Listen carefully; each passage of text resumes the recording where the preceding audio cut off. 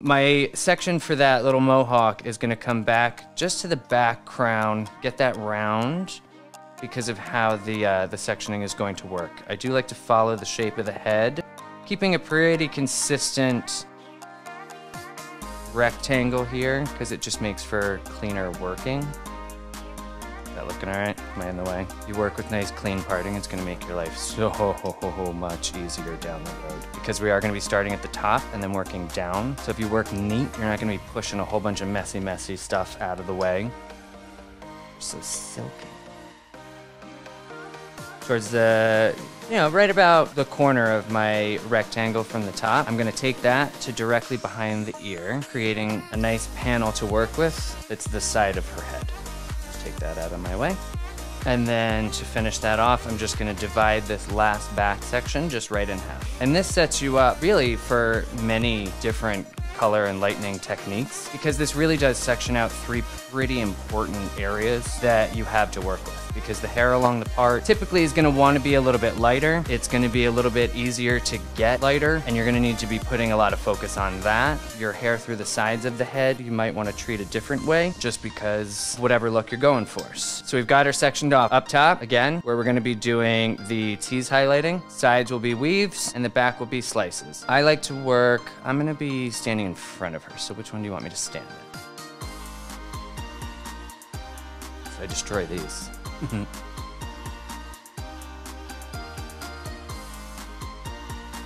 So real quick, right up front on this front hairline, on a regular hairline, it's gonna give a little bit more, but you guys get the idea. I like to do weaves along the hairline because it gives it a nice bold pop without so much of a, a harsh, harsh line. So I'll just, you know, grab some random, going a little heavy on it because chances are if they're already your color client, there's already some lightness through here. That's why this is sort of refreshing at the same time as creating. Just come on in. Get it nice and tight if that's the look you're going for. The, the only, not the only, but the, the one part of the head that I really try to focus on a real client of making sure I get as close as I can is this money piece because that's what makes it pop so much. That's what makes that explosion around the face that everyone notices because it's great. You want it to look good all over because, you know, you're providing a service and this is your work, but it's that stuff around the face that they're going to stare at that they're going to notice right off the bat. Okay, so we've got our little money piece working. We're good. Now, for the rest of this mohawk, I'm going to go through I'm going to take slightly thicker sections and we're going to do tease highlights. So the whole point of a teased highlight is to get energy of a foil with the softness of balayage or an ombre so much. It's not, you're not gonna get close to the root, so it's obviously not something that maybe you wanna do on everybody. For what we're doing here, it's pretty perfect. So I'm gonna do a little bit fatter of a weave, you can see. Decently thick, and then just some light teasing. I'm holding on not real tight because more so than creating a nest at the root, I'm trying to see that I'm breaking up where the ends of the hair are because I don't have it super, super tight with the tease. So there's ends all over here. I'm to highlight to about there. And what that's to do, that's going to avoid a line altogether. Think about where that's hitting on all that different hair and then just to add a little bit more softness, I'll turn my brush, just have more of like a feathered technique up at the top there. Sure you get a good saturation.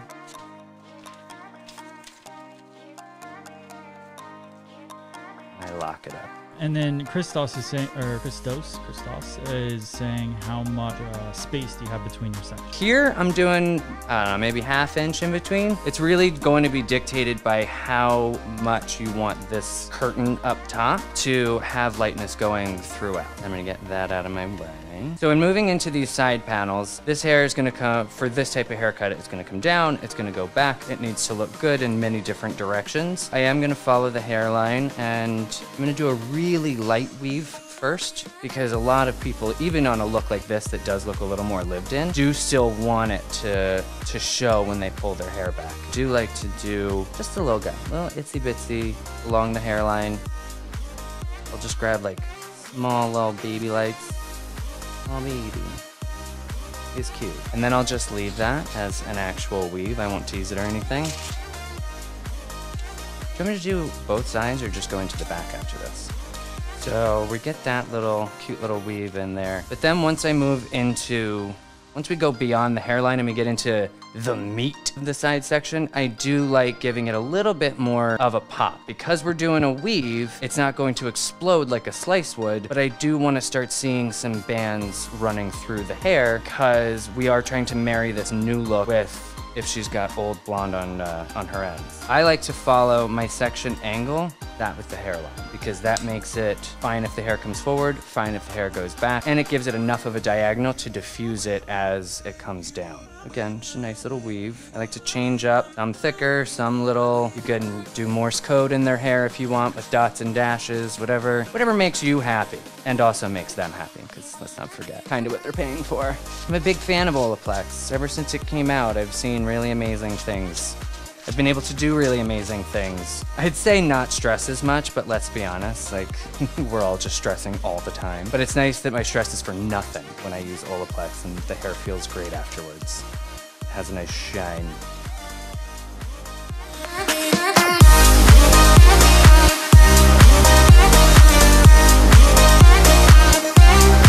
So back here, typically the hair is more dense, it is darker, it doesn't see the light as much. You can you can go, you can get in there a little bit. Back here is where I like to do full-on slices because this is what's going to fall around, like around the face, but like around the neck. That that heavy shadow that comes from back here. Nice pops of highlights here will just help to break that up a little bit, just uh, make it explode a little bit more when they look in. I am going to start a fine, everything I just said, hold on to that, but forget it for a moment, because I'm gonna start with a fine weave on the hairline just for pulling it up out of your, like when she pulls her hair up's sake. Anytime I'm doing anything along the hairline, I like to do a fine weave just because it makes it a little bit softer.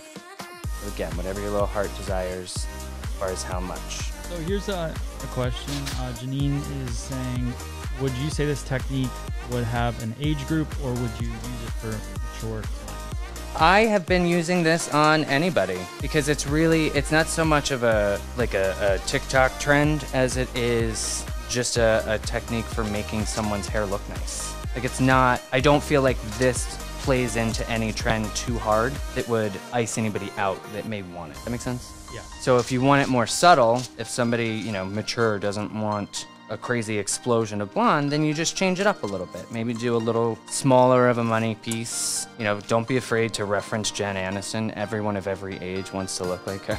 I'm mirroring the, the hairline as far as my, I like diagonals because they blend and you want a little bit of blending to happen when you're using something more severe, like a full-on slice. Again, don't go crazy thick. If you want more blonde, do more thin slices. And then I'll use this piece, because it's the last one you put in. This will be what I check to make sure everything is done. So when you're checking the money pieces and you're like, okay, they're they're good, but you know, they're not gonna fry off if I give everything another minute or two. I'll come back to this foil and look at it and be like, ooh, yeah, no.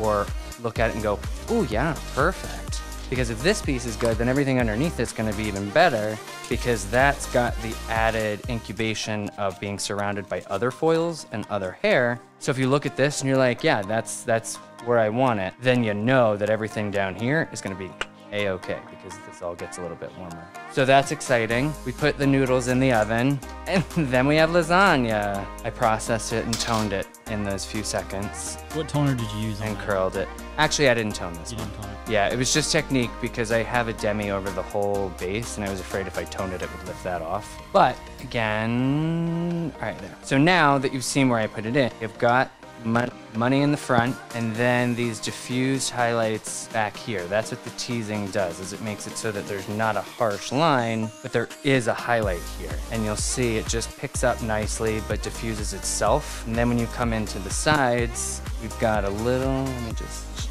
adjust. As you come into the sides, you've got your highlights in here, you've got your slices that definitely show up. They're definitely in there. But when the hair is down, it's nothing too extreme. It'll blend nicely. And then as you make it into the back, where you've got a bit stronger, where you've got your full slices, it holds its own up against the, the depth and dark of the back of the head. So how about them apples? Just give her a little all the way around. Worked hard on this. Look at it. Love it. Thank you guys so much for, for joining us today, letting us be a part of uh, your morning, and can't wait for the next one.